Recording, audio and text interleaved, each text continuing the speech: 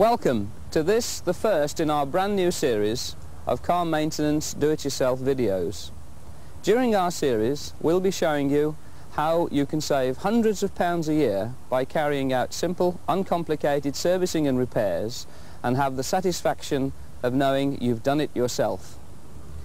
We shall not, however, be showing you how to cut corners by using inferior quality products or by using cheap and nasty tools. At best, that's a waste of time because they probably won't last as long and at worst they could be positively dangerous. In this video we shall be doing a service that can be carried out on most cars whether it be overhead cam as in this case, overhead valve, transverse or conventional north-south engines. We will also be showing you routine checks that should be done on a weekly basis and most definitely before any long journeys. Now the first thing we're going to do is drain the oil. And to do this you may find it useful to put the car up on car ramps. But just a word to the wise. If you're going to put the car on car ramps or use axle stands or the car's jack, never do it alone. Always have someone on hand just in case. I'm going to ask my colleague Mike Lynch to give me a hand. You'll see that as we're working on a slippery surface, I've put the car mats down underneath the ramps to stop them from slipping. Okay, Mike, I'll see you up.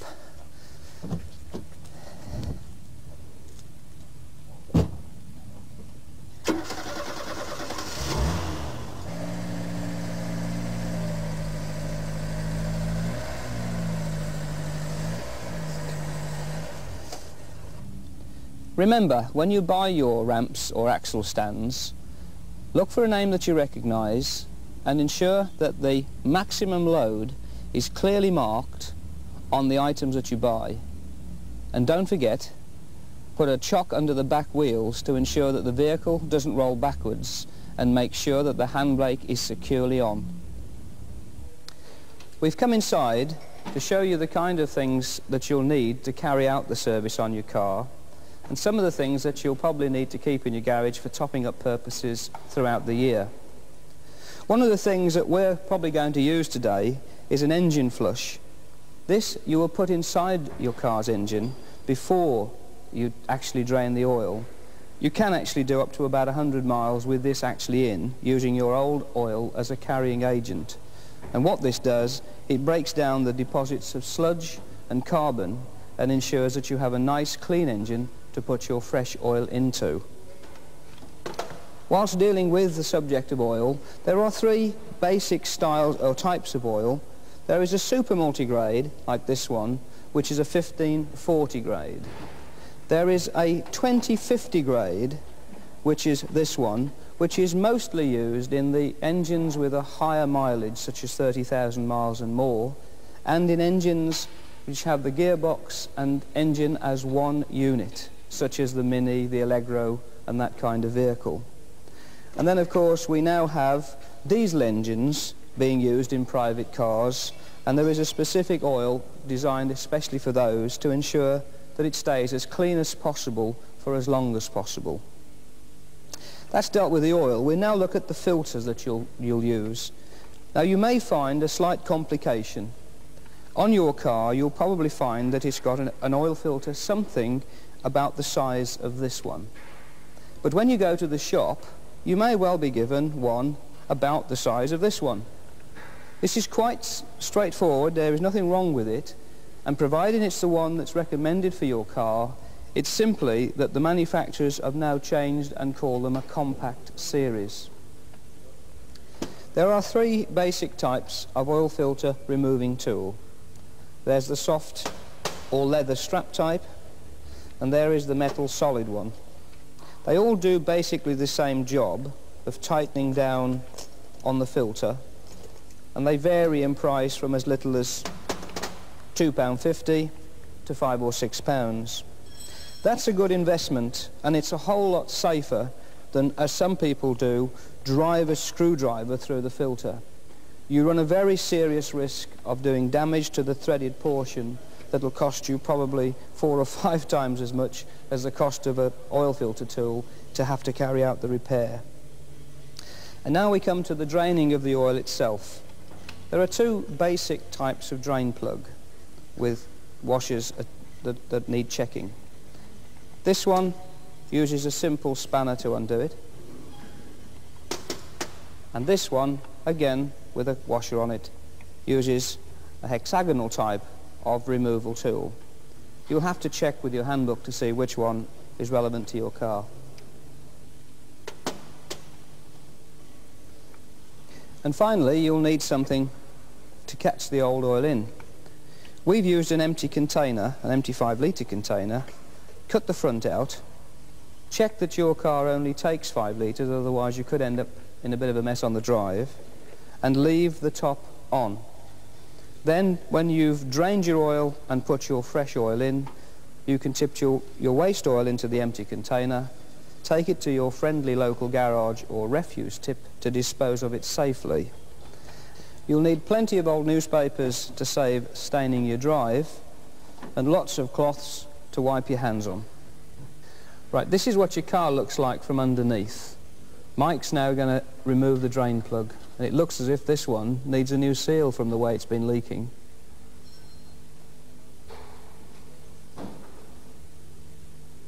Whilst we've got the car in this position, and the oil's draining, Mike will check the gearbox and the back axle levels. But in fairness, you may find it easier to take it to your local garage. They'll probably only charge you a couple of pounds and it will be probably a whole lot safer.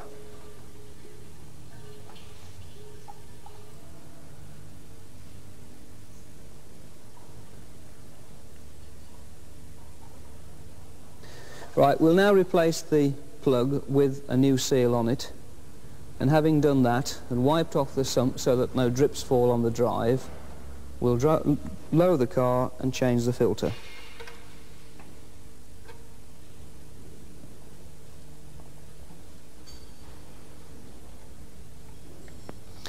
We're now going to remove the filter, but before we do, we're going to put some newspaper directly underneath it.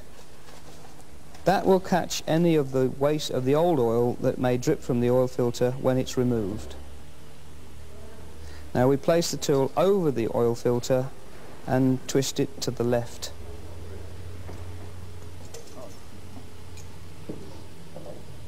Spin it off and then tilt backwards and down to avoid the oil running.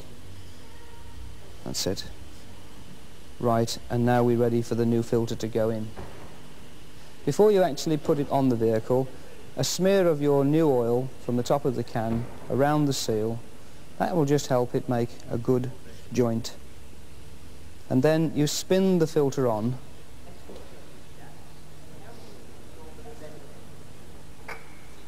In fitting the filter, please do not use the same tool that you used to remove it, to replace it. Use only your hands and screw the filter up hand tight. That's more than sufficient. We're now ready to put the new oil into the engine. Remove the filler cap and on this particular car there's a, a filter inside. Make sure it's not blocked. Fairly clean. Okay, that's fine. Now let's pour the oil through a funnel into the engine. I would suggest that you use about three quarters of the, the can of oil, then run the engine for a while to ensure that the oil circulates and fills the new filter. When you've done that, check the oil level through your dipstick and top up to the required level. Now we come on to the next stage, having done the lubrication, and that's the plugs and the ignition. But before we go to that, just a reminder, you don't have to do all of these jobs on the same day or at the same time. Don't tire yourself out. Allocate so much time to each job and do it. A little and often is a far better maxim to use. The sparking plugs. There are two basic types of sparking plugs, a resistor type or a non-resistor type. If the manufacturers recommend that you have a resistor type in your car, whilst they're more expensive, it's better that that's what you fit. You'll need a sparking plug tool, which could be either 10 millimeter or, as in this case, a 14 millimeter. A set of feeler gauges, and we would recommend that you get yourself a set which are a dual type. That's an imperial size which deals in thous or a metric size which deals in metric and millimeter sizes. They will enable you to check the gap on the plugs and also to set the, the contact breakers or points as they're referred to. You'll also need a condenser. It could be this type which is mounted outside the distributor or it could be a shorter type which is fitted inside the distributor. Whatever you do, whenever you change the points, always fit a new condenser at the same time. That guarantees that the power to the points is consistent at all times. Then we come to the rotor arm, which on some cars, those for instance with electronic ignition, that's really all that you've got to worry about. If it's dirty or, or pitted around the edge, throw it away and fit a new one. Don't take a piece of sandpaper to it. And finally, the distributor cap where the plug leads and high tension leads go into. On the Ford, as indeed on many cars now, there is the Bosch type, which is brown, and that's the easiest way of recognizing it. Or there is the original Ford type, which is black. You'll be asked which one is fitted when you go to get your new parts. Of course you'll need a screwdriver. It may be an engineer's type, or it may be a Phillips head but you'll need one of each anyway. And now let's go to the car and let's have a look at the old plugs.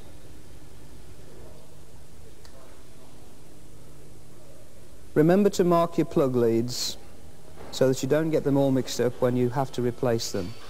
We've marked them with these little gadgets that cost about a pound a set, but you could easily use masking tape and write on them 1, 2, 3, 4, etc. Now let's see what a condition these plugs are in.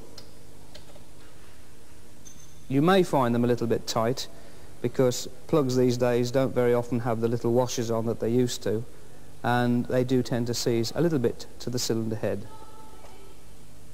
Now these plugs look in a pretty poor condition and we would recommend that these should be changed. We know this particular car and we can tell you the reason for this, these plugs being black is that the vehicle does very, very short journeys and therefore the choke is probably st still in operation nearly all the time it's, it's driving. That's the four plugs removed. We won't put in the new ones yet because we're going to go on to removing the distributor cap and putting in the new points and condenser. And leaving the plugs out will make the setting of the points gap easier later.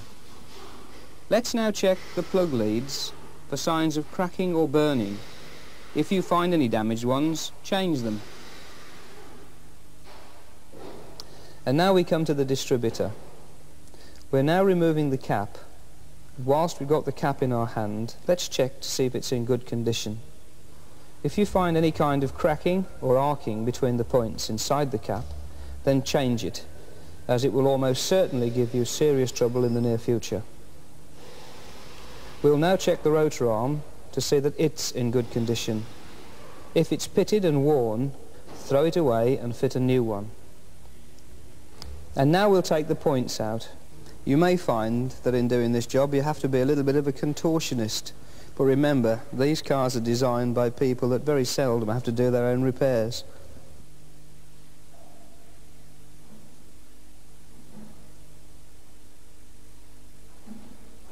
If the points are pitted, worn or black, then replace them.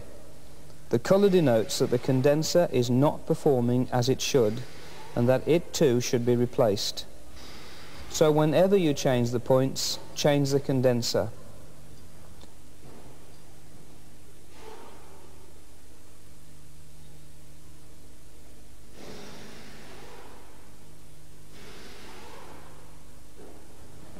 Always check that the earth wire is making a good connection to the base plate.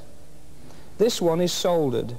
Yours may be screwed make sure that the connection is good. Now the condenser is fitted, We then come to the points.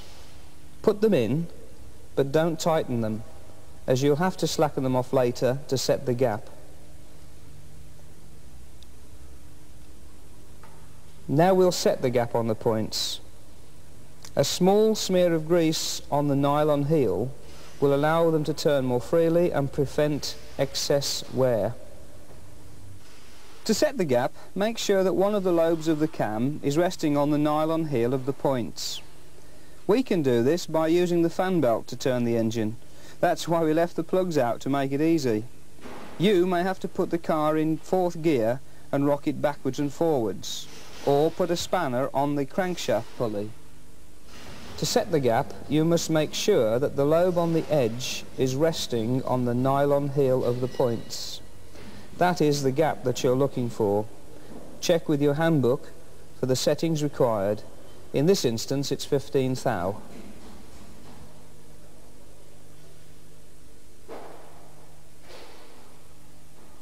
Take your feeler gauges and place them between the two contacts. Make sure it's a nice tight fit.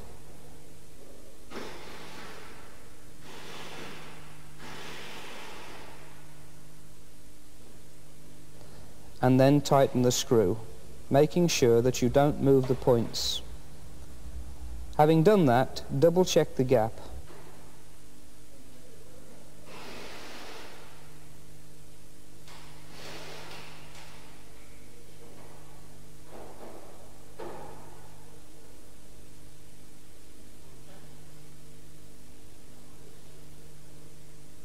Replace the rotor arm and the distributor cap making sure that it's clipped firmly into position.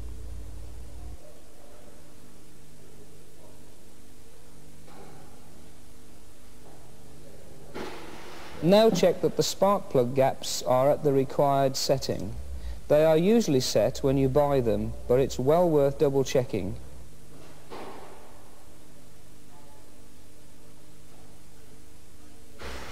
And that's the ignition done.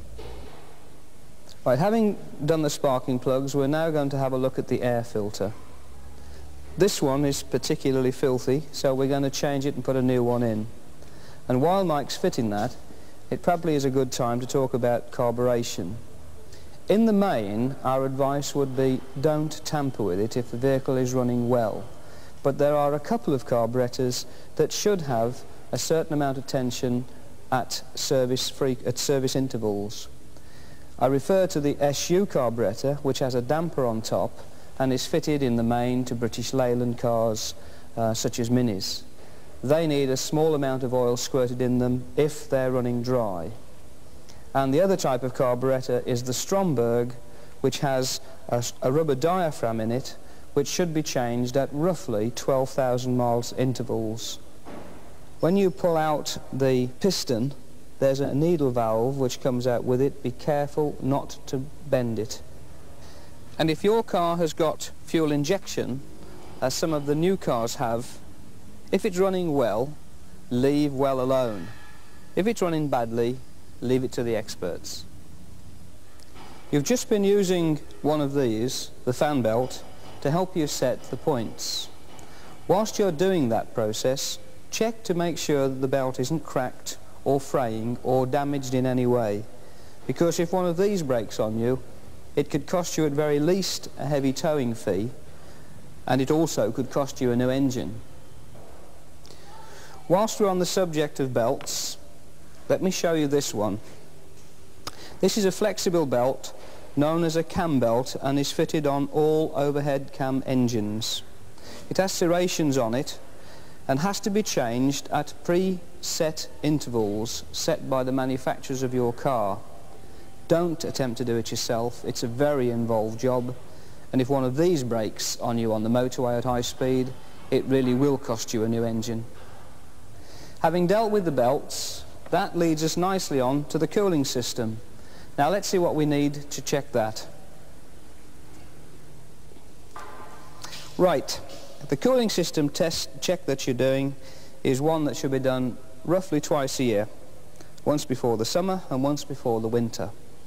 And you're doing it with a little gadget like this, which resembles an eyedropper with four coloured beads inside. And what these beads do, when you take some water from your cooling system, will tell you on the uh, guide at the side there what the specific gravity of the cooling system fluid is. Always use a good quality antifreeze which is ethylene glycol based. This will act as a good summer coolant and an excellent antifreeze in the winter. Well that's the antifreeze dealt with. Before we check the radiator, a couple of three other things that we've got to check while we're under the bonnet. Brake and clutch fluid, that's if yours has got a hydraulic clutch. It may be cable operated, your handbook will tell you. Windscreen washer solvent, this will stop your bottle freezing up in the winter and give you all the year round clear vision on your screen. And a battery top-up solution designed uh, especially for batteries. Though yours might be sealed for life, check your handbook thoroughly. And now let's go and see what we need in the radiator. We remove the cap, but before you do, ensure that the engine is cool. When they're hot, engines run at high pressure, sometimes up to 15 pounds per square inch, and it can give you an extremely nasty burn. We remove the cap, and then we place our little glass dropper inside, draw out some of the solution, and we can see that three out of the four beads are floating at above halfway. If you look on the gauge on the container, you'll see that this cooling system is perfectly adequately looked after with regard to its cooling fluid. We pop it back in. Before replacing the cap, just check that the seal around the edge and the spring is operating successfully. Replace the cap. Now before we move ourselves away from the radiator system completely, let's just have a look at the radiator hoses. Make sure that they're not hard, brittle, cracked or leaking in any way. You have a top hose, one down here which is the bottom hose which helps the cooling system to circulate and then you have these heater hoses which run from front to back of the engine. Well they're okay. Now we come over to this. most modern cars now have got this which is called a header tank. What it is, in fact, is a, a bottle which is connected to the radiator so that when the, the water gets hot and expands, it goes into the header tank, and then when it cools down, it goes back into the radiator, meaning that you don't lose any of your cooling uh, efficiency. They're polythene containers, and you can see the minimum and maximum levels. This one's all right, so we don't need to touch it. Whilst we're under the bonnet, we can now look at this side, which is the brake fluid reservoir. Again, they're using polythene these days to contain the fluid. They have a minimum and maximum level, and you can see quite clearly that this one is at the right level. On this particular car, we have a cable clutch, so we don't need to look for a, a clutch fluid reservoir. And now we go over to check the windscreen washer bottle and the battery. You see this one is fairly low, so we'll need to put some of the solution in. It's graded on the side of the bottle, but as a rough guide, you want one part solution to 10 parts water. Simply pour it in, and then add fresh water.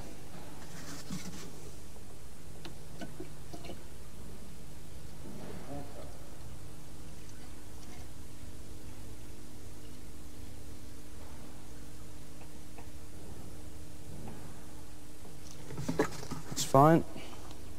Replace the cap. And now we'll look at the battery. Some batteries are sealed for life. This one has got a facility where you can actually check to see whether it needs topping up with any of the deionized water specially made for batteries. Check that the electrolyte, which is the fluid inside the battery, is between one-eighth of an inch and a quarter of an inch above the plates. If not, top it up and then replace the top. Any of the fluid out of the battery that gets onto your hands should be removed by washing immediately. Never, but never, smoke whilst working near the battery. Check the terminals to make sure that the leads are firmly tightened and that there's no white furry deposits around where the nuts and bolts are.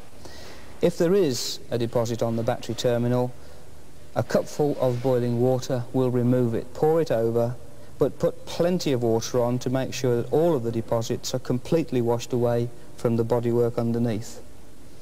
Dry it off and then smear it with a jelly such as this or even your own domestic Vaseline perfectly satisfactory to stop the deposits from coming back on again. Well, that's the complicated part of the general service over. But there are a few checks that we need to do outside the car on a weekly basis, and I'm going to need Mike's assistance to do them. I refer to the windscreen washers, the wipers, the lights, and the tyres. So if you're ready, Mike, first, let's try the horn.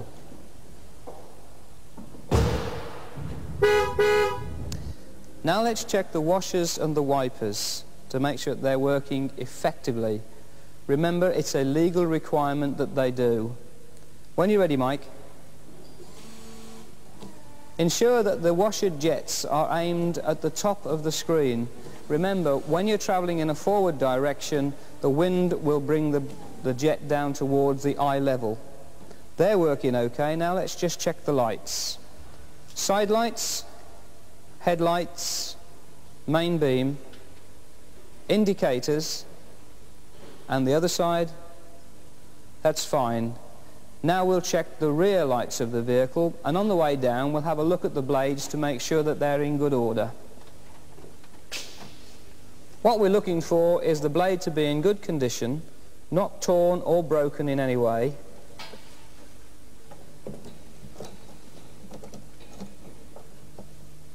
That's fine. And now we'll look at the rear lights. Rear lights, stop lights, indicators, and left. Fine. Fog lights and reversing lights. That's great. Both of the number plate lights are intact. Right, that's the lights all done. Now let's check the tyres. And now we come to the most important part of your car, and that's your connection with the road. We're talking, of course, about your tyres. Once a week you should check them, the walls, to make sure that there are no cuts, bruises or abrasions. The tread depth should be checked, and remember, the minimum re legal requirement is only one millimetre. We believe you should change your tyres when they get down to the two millimetre mark. If you want to know what one millimetre represents, it's to that serrated portion on the 10p coin. Insert your 10p coin in the tyre depth tread. As you can see, this one is in very good condition.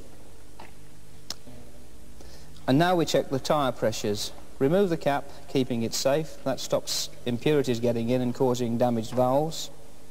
Put the gauge onto the valve and read off. You'll see this has got 20 pounds in it. It should have 26. It therefore needs inflating. At this stage, having reflated the tyres, in a normal service, we'd remove all four wheels and check the brakes. But that's much more complicated, a whole new ball game. And for that you'll need tape number two.